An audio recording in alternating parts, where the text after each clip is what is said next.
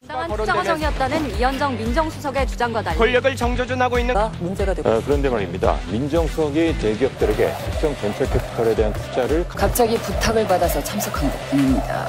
투자처가 완전 특혜 아닙니까? 대한민국 국민으로서 아주 그냥 분노가 침입니다.